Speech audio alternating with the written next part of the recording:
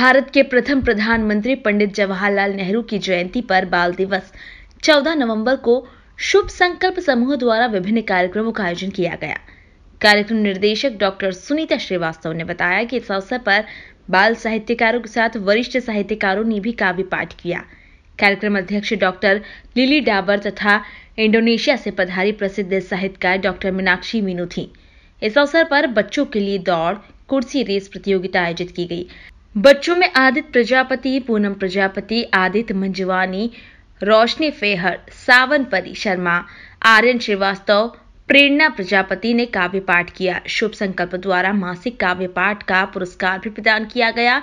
निशी मंजवानी, सुरभि शुक्ला, अनु अस्थाना, महिमा शुक्ला, करुणा प्रजापति, नयन राठी के काव्य पाठ को सभी के द्वारा सभी का मन जीत लिया। इस अवसर पर 40 बच्चों के सुंदर, अद्भुत चित्रकारी का प्रदर्शन भी किया गया। बच्चों ने बहुत सुंदर मॉडल बनाकर अपने हुनर का परिचय दिया। हुनर फॉक्स के बच्चों ने अपनी जल कला का प्रदर्शन रंगों से किया। अमिता शुक्ला की चित्रकारी को सभी ने सराहा। मीनाक्षी मीनू ने कहा, शुभ संकल्प की निर्देशक डॉक्टर सुनीता श्रीवास्तव ने हमारा मन मोह लिया है। उनके रचनात्मक और सकारात्मक गतिविधियों से हम रूबरू हुए हैं और हमें इंदौर के साहित्यकारों से मिलने का सौभाग्य प्राप्त हुआ है। लिली डाबर जी ने कहा, शुभ संकल्प समूह केवल बड़े साहित्यकारों का ही नहीं, बल्कि बच्चों के लिए बढ़िया कार्य कर रही है। इस अवसर पर सभी प्रतिभागियों को पुरस्कार तथा प्रमाण पत्र सम्मान पत्र प्रदान किए गए। कार्यक्रम का संचालन करुणा प्रजापति तथा महिमा शुक्ला ने किया एवं आभार। शुभ संकल्प समूह के निर्देशक डॉक्टर सुनीता श्रीवास्तव ने माना। द्वारा आज चौदह नवंबर बाल दिवस के अवसर पर अहिल्या लाइब्रेरी में जो आयोजित किया, क्या कहना चाहेंगे, किस तरह का पूरा आयोजन है ये? जो पूरा कार्यक्रम है आज का, वो सिर्फ़ बच्चों के ही लिए है। पर साथ ही, क्योंकि बच्चे जो है, बिना अभिभावक के आगे नहीं बढ़ पाते तो बच्चों के साथ अभिभावकों को भी हमने दौड़ प्रतियोगिता का भी पाठ रखा है। और अटल स्पोर्ट्स क्लब में टेबल टेनिस का अपना चलता है तो मॉर्निंग में सुबह वहाँ गतिविधियाँ हुई। और ये लिली जी का था कि एक कोना उन्होंने हमको दिया है बच्चों के लिए तो शाम के समय कुछ बच्चे हमने यहाँ आमंत्रित किए हैं। और आज क्या क्या आयोजन यहाँ पर इंडिया यहाँ पे बच्चों के ये चेयर रेस है दौड़ है और मेमोरी रेस है और काव्य पाठ है। अतिथि के रूप में आज कौन कार्यक्रम होगा? हमारे जो अतिथि हैं तो शासकीय अहिल्या केंद्रीय पुस्तकालय की निधि रावल जी।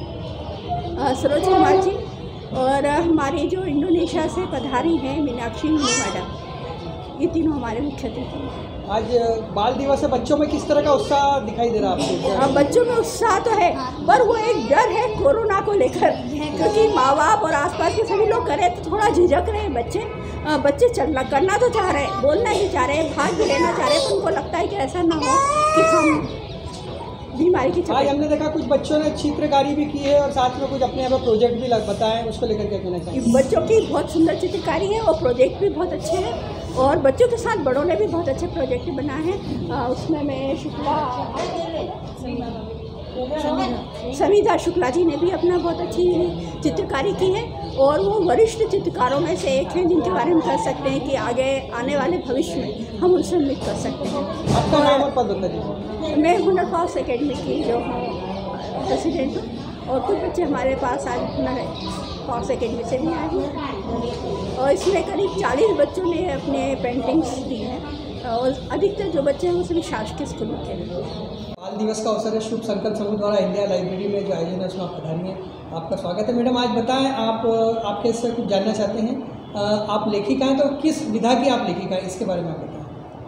हम सभी विधाओं पे लिखते हैं लेकिन हास्य विधा हमारा प्रिय क्षेत्र है इसलिए हास्य पे ज़्यादा लिखते हैं वैसे सभी विधाओं पे लिखते हैं। जी। आप कब से आपको लेखन का शौक कब से शुरू हुआ मैडम? कब से आपने शुरुआत की? हमारे घर में ही हमारे पिताजी हमारे चाचा जी ये सब घर में पहले से ही ये एक्चुअली अच्छे साहित्यकार हैं।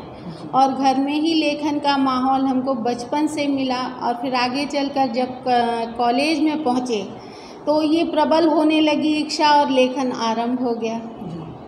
आप इंडोनेशिया में हैं वर्तमान में भारत और इंडोनेशिया के साहित्यकारों में किस तरह का अंतर आप देखती हैं? मूलतः वो सभी भारतीय निवासी हैं, भारत के निवासी हैं, जितने भी कवि हैं वहाँ पे। तो समानता ही दिखाई देती है हमको दोनों में, क्योंकि वहाँ के जो कवि हैं, वो भी समाज पे, प्रकृति पे, पर्यावरण पे और देश पे ही लिखते हैं ज़्यादा से ज़्यादा कि जिससे हम इस तरह से अपनी प्रकृति को, पर्यावरण को, देश को, शहीदों पे ये सब लिखते हैं।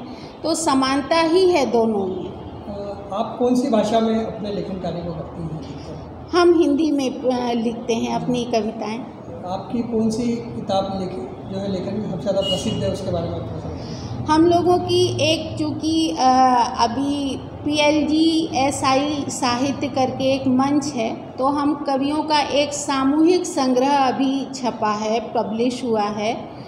और दूसरा हमारा जो संग्रह है वो इस महीने में आएगा वो भी सामूहिक है। लेकिन दिसंबर में 2020 में हमारा एकल कविता संग्रह एकल कविता हमारी पुस्तक छपेगी जो बहुत जल्दी आप सबके सामने आएगी।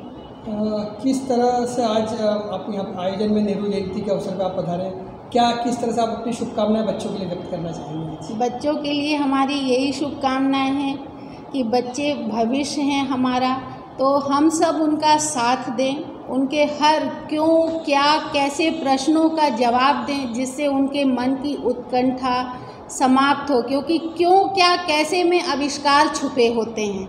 और जब बच्चों की ये उत्सुकता कम हो जाती है, तभी ये आगे बढ़ के और नई नई खोजें करते हैं, डॉक्टर, इंजीनियर बनते हैं। तो जो आज आप सब लोग मिलके ये नेहरू जयंती पे कर रहे हैं, उनका साथ दे रहे हैं, उनकी इच्छा शक्ति को और प्रबल कर रहे हैं इसी तरह सहयोग करें और जिस तरह से आज बच्चों को हमने देखा है यहाँ पे कि हर क्षेत्र में वो आगे हैं और सब में भाग ले रहे हैं।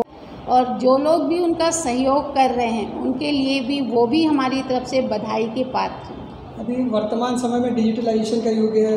किस तरह से आप बच्चों को युवाओं को प्रेरित करना चाहेंगे कि हिंदी साहित्य के प्रति उनका रुझान है? बिल्कुल। साहित्य तो हमारा बहुत पुराना है, देखिए, लेकिन हम सभी कवि हों या कि हम किसी भी तरह के लेखन के क्षेत्र में हों, आज अब वो टाइम आ गया है कि हम बच्चों को एक जगह बिठा के साहित्य के बारे में नहीं पढ़ा सकते। तो ज़्यादा अच्छा है कि हम बच्चों को इस वे में पढ़ाएँ, इस तरह से पढ़ाएँ कि उनका झुकाव, जैसे कहानी है छोटी छोटी कविताएँ हैं छोटे छोटे प्रोग्राम हैं जिनके थ्रू उनका रुझान बढ़े जिनके कारण। और वो धीरे धीरे अपने आप देखिए इस फ़ील्ड में इस क्षेत्र में ज़रूर आएँगे। और यही माध्यम है बच्चों बच्चों तक पहुँचने का साहित्य तक उनको पहुँचाने का। आप इंडोनेशिया में रह रहे हैं तो क्या आप आ, हमेशा वहीं रहना चाहेंगे या भारत में भी रहना चाहेंगे इसके लेकर क्या करेंगे जी नहीं हम भारतीय हैं भारत मूल के हैं यहाँ पैदा हुए यहाँ पले बड़े यहाँ के संस्कारों में हमारी पूरा बना है भविष्य तो बिल्कुल हमारे पति के अवकाश प्राप्ति के बाद हम अपने देश में, अपने लोगों के साथ, अपने परिवार में वापस ही लौटेंगे।